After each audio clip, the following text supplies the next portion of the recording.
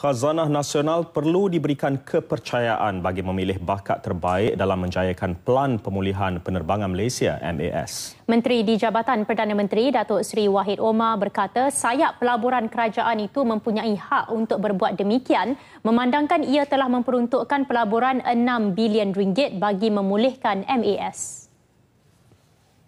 I think um, Kazanah, um, as what they've announced in the 12-point plan uh, in August, um, uh, as well as the update uh, that was given um, just over uh, a week and a half ago, um, they've made it very clear that uh, they've gone on global search uh, for the best talent possible. And I think through that process, um, they, have, they have identified Christoph Muller as a person suitable. Jumaat lalu, Khazanah mengumumkan pelantikan Christoph Muller sebagai Ketua Pegawai Eksekutif CEO MAS yang baru yang akan menggantikan Ahmad Jauhari Yahya bermula 1 Januari ini.